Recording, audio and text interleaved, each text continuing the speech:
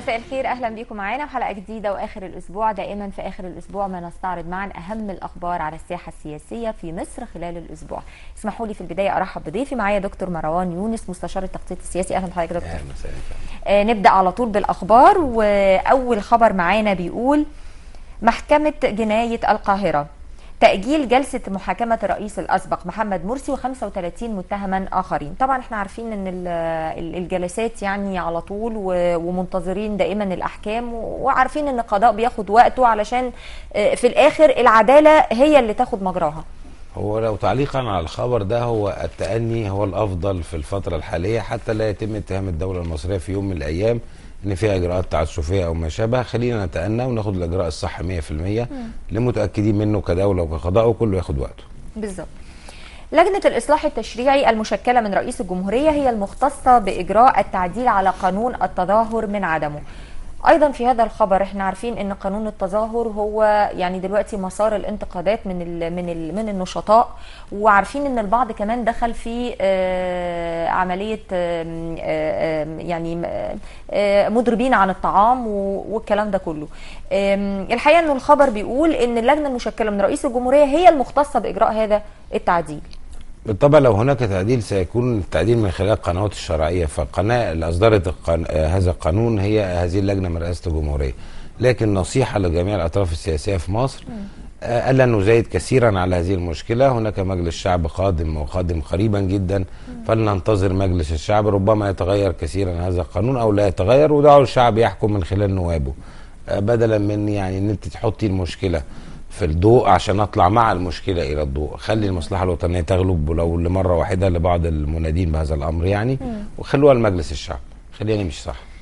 محلب يستقبل العقيد ساطع النعماني بعد عودته إلى أرض الوطن. طبعا إحنا كلنا شفنا الاستقبال لسيادة العقيد والحقيقة يعني إنه هو يستحق ويستحق زيادة كمان من كل الشعب المصري. ومن هنا بقى كمان يعني مش لسيادة العقيد فقط هناك أسر ضحايا كثيرة جدا في حالة صعبة جدا فقدت آه، العائل واما الأخ يا الابن يا الأب. هذه الأسر لابد من تكريمها في يوم من الأيام لأنها أسر ضحت بأبنائها من أجل معركة وطن. وطن كامل بيحارب بيحارب ما كانش يوم عادي في عمله. لا ده كان مصر كلها بتحارب هم تصدروا الصفوف فلابد يعني نهتم أكثر شوية بشهداء الجيش والشرطة أكثر من ذلك ونبدأ نعرف الناس بيهم أكتر شوية مش العقيد العائلات طبعا سيد حضرتك طبعا يعني، مشكورا آه، يعني أحد بالظبط. الأبطال بس يعني آه. لا يجب الا ننسى كل من ساهم في النجاح خط العقبات الواحدة الأخرى في الفترة اللي فاتت. وأهمهم الجيش والشرطة ده حقيقي الإعلان عن موعد الدعوة لانتخابات مجلس النواب في الأسبوع الثاني من أكتوبر طبعا إحنا كلنا منتظرين آه، ال- الانتخابات لكن الحقيقة هو اللي بيلفت للنظر ال ال الزخم السياسي والأحزاب السياسية الموجودة على الساحة. الكل بيقول إنه العدد كبير جدا جدا ويمكن الأحزاب اللي ما زالت معروفة عند الناس هي هي على فكرة ال ال القديمة اللي معروفة عند الناس. فتفتكر إن ده ممكن يعمل في, في الانتخابات نفسها إنه عودة برضو لل- لل- للزمن ال- السابق وللمعروفين أو مثلا ال- ال- النواحي المالية المالية الع- العصبيات الحاجات دي ترجع مرة تانية لعدم معرفتنا بالأحزاب السياسية. نعم احزاب تنتهي انتخابات القانون على عدد كافي من النواب سيضطر للتماشي مع آليات المرحلة يا إما يندمج في حزب آخر يا إما يقفل الدكان اللي هو قاعد فيه ويروح آه، وخلاص شوف شغلانة تانية. فالبرلمان القادم هو اللي هيجيب النخبة هو اللي هيجيب الأحزاب السياسية ويجيب كل شيء. طب نيجي للسؤال الثاني اللي حضرتك سألتيه المال السياسي. المال السياسي له تأثير في كل دول العالم بس لا يفترض إن المال السياسي يبقى هو الأساس. إحنا في دولة خلينا نبص برضو المجتمع مجتمع فقير وعنده ظروف وكده ربما يساء استخدامه حتى تظهر وجوه قديمة وعلى فكرة قديمه والأقدم. يعني لو الناس أيوة. زعلانة من القديم أنا زعلان. يعني في. اثنين مش واحد. فقط لغير لو عامل مصر في فئتين. هم دول الخوف منهم. إحنا بقى يهمنا إيه؟ إحنا مش هننتظر زي كل الدول في العالم التجربة الديمقراطية حتى تكتمل ويعي الشعب كذا كذا والكلام الجميل ده. إحنا مضطرين في ظرف تاريخي إن إحنا ندفع الأمور للأمام. هدفعها بقانون رادع. اللي يعمل كده يتحبس اللي يعمل كده يطلع من الانتخابات. أنا مش عاوز مثلا الواحد اللي يدفع مثلا 10 مليون في الانتخابات تقول لي غرامة الكلام ده. مش عاوز واحد بيقدم يقول لي معلش أنا احضر دي مش عقوبات. ده خلاص بقى نائب. يعني عمل الجريمة وهذه الجريمة اللي أنت هتعاقبه عليها بغرامه وكلام زي كده ادت انه بقى نائب. بالظبط. فاذا ما فيش عقاب على هذه الجريمة. فاحنا عاوزين ندفع المجتمع شوية لقدام ان إحنا نجرم والشرطه تشتغل 100% في الانتخابات الجاية بقى عينيها مفتحة على كل الممارسات الخاطئة عشان نعلم الشعب بسرعة مش هننتظر بقى نمو التجربه وازدهار التجربه ونقعد لنا 20 30 سنة ومصر تحارب.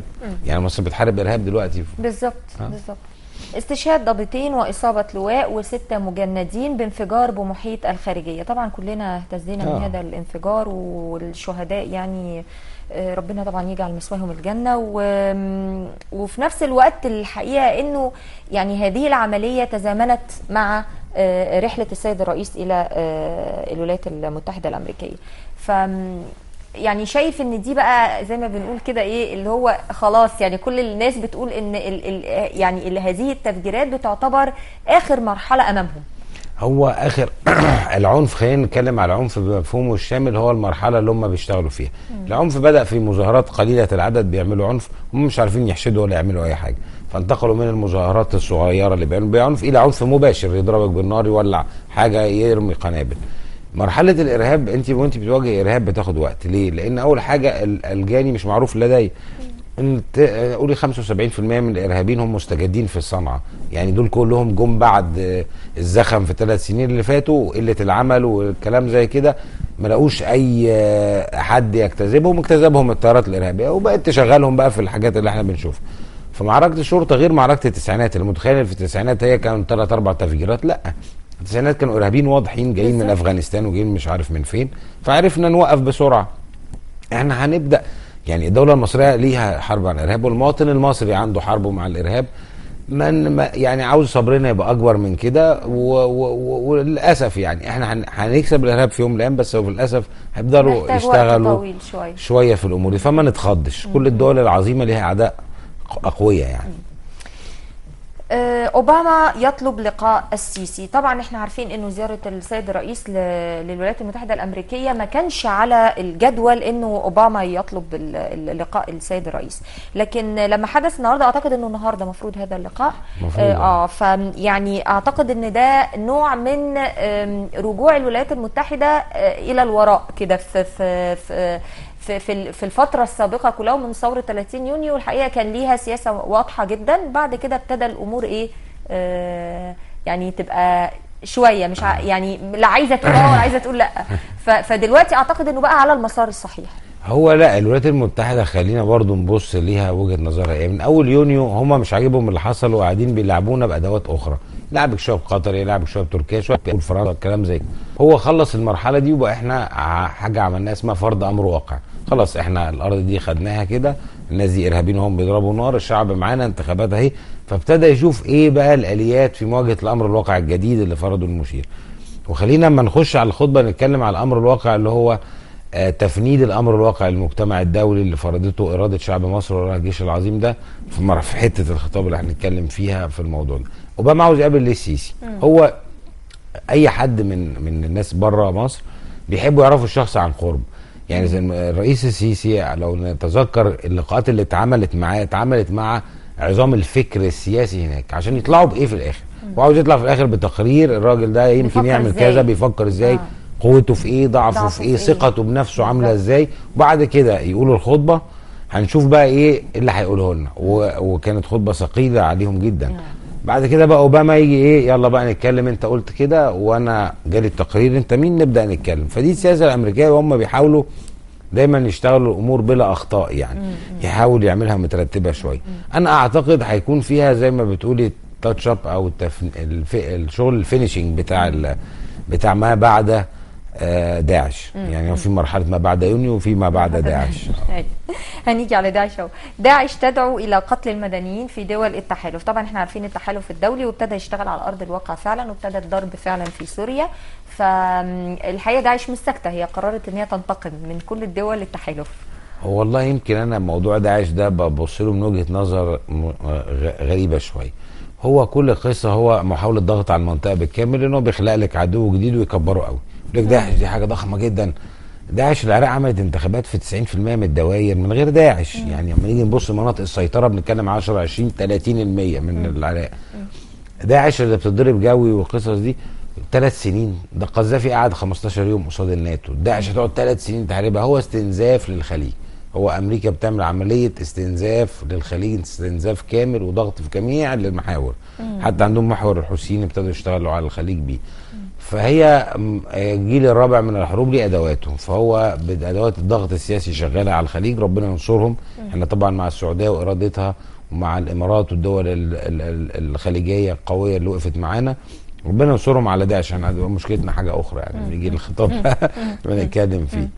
بس هي القضاء على داعش ممكن يبقى في شهرين بس هم آه، عاوزينه ثلاث سنين عشان فاتورة. ثلاث سنين غير فاتورة شهرين. بالظبط كده بالظبط. قرار بمنع دخول الناصر السياسي علاء عبد الفتاح إلى مقر نقابة الصحفيين. آه، طبعا إحنا عارفين إن نقيب الصحفيين ضياء رشوان قام بهذا القرار. في رأيك إيه؟ أي حاجة بت ب يعني أي شخص ما بغض النظر اسمه إيه. وجوده بيؤدي إلى أفعال خارجة عن القانون صاحب المؤسسة أو المدير ليها ربما يأخذ إجراءات إدارية لمنع الخروج عن هذا القانون فهو خد هذا الإجراء تحسبا لمظاهرات قدام النقابة. برضو عندنا في قانون التظاهر والكلام ده. السيسي في حوار لمحطة بي بي إس لا تضع لا نضع قيودا على حريات التعبير مصر عامل الاستقرار بالمنطقة وعلى الإخوان نبذ العنف ويؤكد القاهرة جزء من التحالف ضد داعش وعلاقتنا بأمريكا استراتيجية. بس جزء من التحالف استراتيجيا وليس آه، يعني كقوات مسلحة أو برية أو غيرها. يعني طبعا ده النص الحوار لل- للمحطة. آه، والحقيقة ده هياخدنا للكلمة اللي سيادة الرئيس قالها امبارح. الكلمة لسياده الرئيس ونخش على موضوع داعش وجزء من التحالف. خلينا برضو إيه كان ب... آه، الخطبة كانت فيها قدر كبير من الرسائل الواضحة مرحلة مكاشفة مع الغرب مرحلة إعادة تعريف بعض الأمور. حتى سيادة الرئيس لما اتكلم اتكلم على الإرهاب في المطلق. بالظبط. أنا هحارب الإرهاب سواء كان داعش سواء. كان دالم اللي هو. في ليبيا سواء كان دامس اللي عاوزين يعملوه في السودان. سواء كانت جماعات متطرفة فأنا بتكلم على الإرهاب في العموم.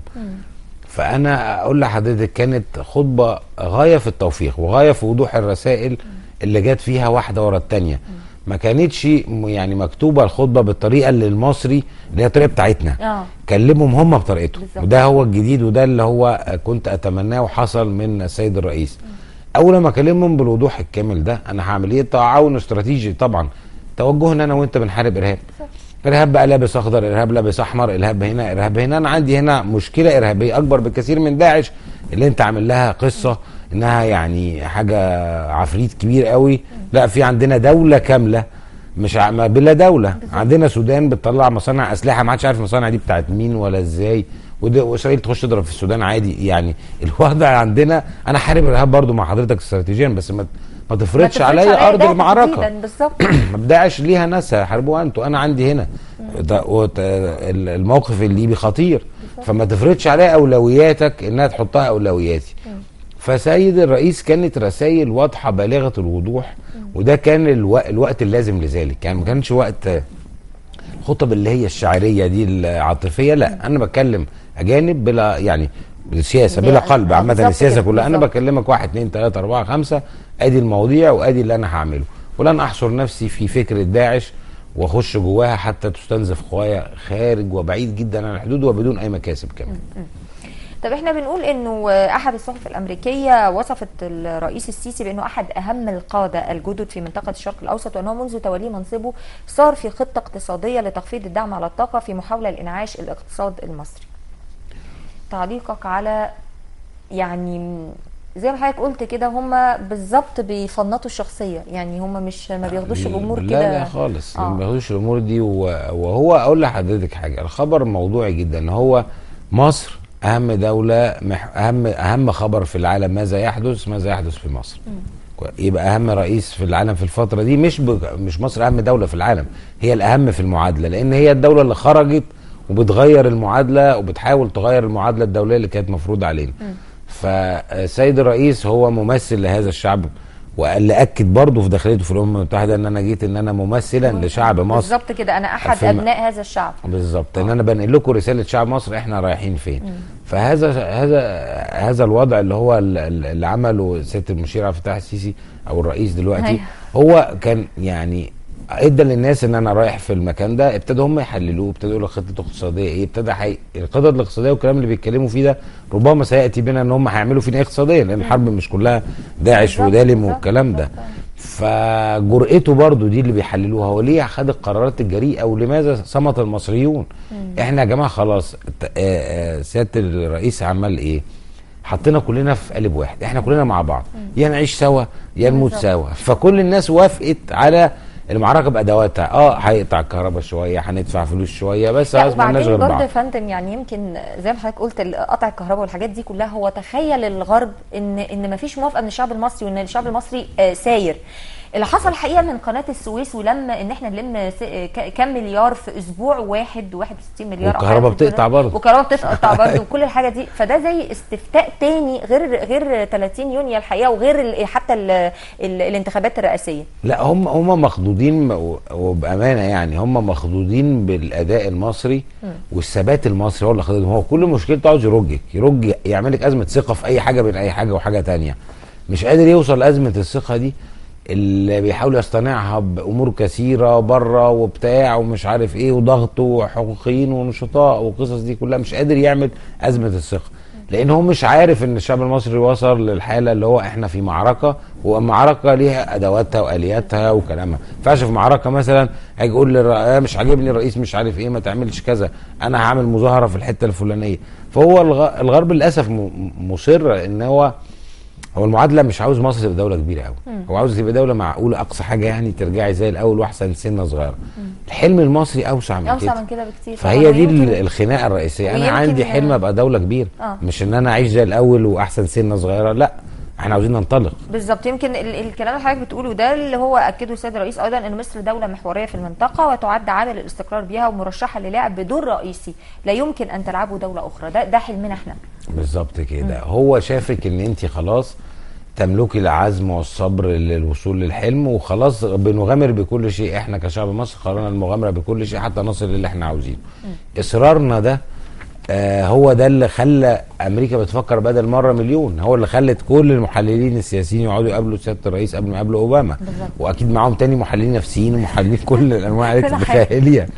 ف... جاش ف- كاسه الكد كده بس. آه لا يعني. هتبقى وهو بس انت بتتعاملي مع رجل كبير. يعني يعني أنا كنت كتبت مرة هو كان مشير ثم رئيس ثم زعيم دلوقتي على طرق ان هو على الطريق إن هو يبقى الزعيم. خدت بال حضرتك؟ فلا ال- الأداء المصري جيد جدا جدا والعمل على في وزاره الخارجيه أنا بشكرهم كمواطن مصري. أخيرا بقينا صراع في التصرف أقوياء في حركة قوية حركة فعالة. طبعا رئيس طيب زعيم للمنطقة جديد. هن هن هنرجع برضو لموضوع داعش وال وال والاستراتيجية المصرية أو يعني مشاركة مصر استراتيجيا. تفتكر هيكون مشاركتها شكلها إيه؟ أنا أعتقد إن إحنا مشاركتنا في الحرب مع داعش أنت عاوز تاخد معلومات أديك معلومات أجهزة الاستخبارات عندي.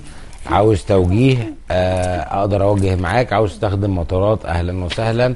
عاوز المجال الجوي تع- تعدي فيه القاذفات بتاعتك أهلا وسهلا مفيش مشكلة.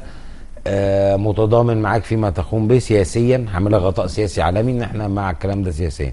بس على أسس تانية بقى إن أنا هذا ده كلام داعش إنما الكلام بقى التاني أنا هحارب الإرهاب أنا متضامن ب...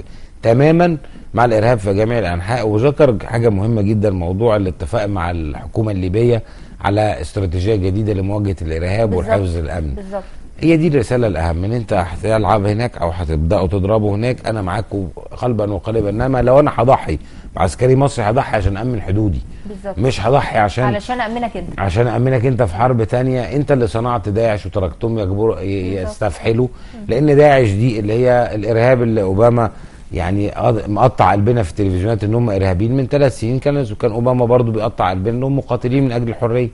فأنتم من صنعتم داعش آه، وأنتم صنعتوها للضغط على الخليج وربنا يستر مع الخليج. عنده معركته وإحنا عندنا معركتنا وأنا أعتقد إن إحنا وهم سننتصر. يعني إحنا دلوقتي عمالين بن الحقيقة بن بن آه، زي ما بنقول بنحلل كلمة السيد الرئيس آه، يعني جزء جزء. أيضا ال- ال- آه، الرئيس السيسي حذر الإدارة الأمريكية من إن هي تنفض يدها من الشرق الأوسط. ما هو الشرق الأوسط دي هي رسالة معناها إن أنت من صنعت هذا الوضع فأنت ولابد تتحمل عواقبه. بالظبط. لن نتحملها وحدنا. تقول أنتوا يا عرب بقى عندكم الإرهابيين وهم عندكم وأنا سلحت لكم الإرهابيين. آه تعالوا من سلح الإرهاب ومن سلح داعش؟ عاوزين نشوف ال- ال- من أول الآلي اللي في إيد الارهابي اللي هناك لغاية الار بي جي ولا المدافع بتاعته. هتلاقيها صناعة تركي وصناعة أمريكي. من أين جاء هذا السلاح؟ من تركيا كله. وجه إمتى؟ من عند سوريا من أيام الضرب في سوريا أما كانت تركيا بتدرب وتبعت والكلام زي كده. فلو أنت عاوز تقضي على داعش أنت أمريكا تستطيع القضاء على داعش إنما ما تصنعليش مشكلة وتقول لي ده مشكلة شرق أوسط. لا لا يعني العالم الجديد ما فيهوش مشكلة شرق أوسط وشرق مش أوسط. لا الدنيا كلها منفذة على بعض. فوضى مصر وليبيا وصلت حدود جنوب المتوسط. فهو بيحط قدام مسؤولياته قدام إن أنت أوباما بقى مش هتعمل زعيم العالم عندك مسؤولية. أنت بقى تشترك معنا في هذا الأمر. حتى لا يعتقد إن إحنا هندير الحرب كأمريكا إن إحنا نجيب كاميرات نصور وإنتوا تحاربوا لنا بالظبط يعني. بالظبط بالظبط وهو الهدف القضاء على الجيش المصري بقى ما هو آخر جيش أساسا آه استنزاف. القدرات المصرية جميعا كده. مش جيش بالظبط بس وكذلك أيضا العربية بمساعداتهم المالية بقى الله يكون في عون. السعودية بالظبط. والله بالظبط. العظيم اللي بالظبط. أيام الجاية صعبة والله يكون في عونها وإن شاء الله متماسكة كسعودية ومنتصرة بإذن الله يا رب إن شاء الله أيضا من من جهود السيد الرئيس سواء في في الكلمة أو سواء حتى على مدار الأيام السابقة في في الدورة 69 آم، ال- الاستثمارات ال- ال- ال- أو جذب الاستثمارات هذه لمصر. ودي كانت رسالة هامة جدا وفي مشاريع محدده يعني حد داخل عارف هو بيعمل إيه مش مش كلام لا وخلاص. هو بيحط كل واحد قدام مسؤوليته أنتوا بتدعوا ان أنتوا ستستطيعوا مساعدة مصر. وان أنتوا بتدعوا ان ان ان ان أنتوا يعني مشكلتكم ان مصر كانت ثورة والمؤسسات لا لم تكتمل إلى الآن. أكد بدل مرة مليون ان المؤسسات مكتملة على آخر العام.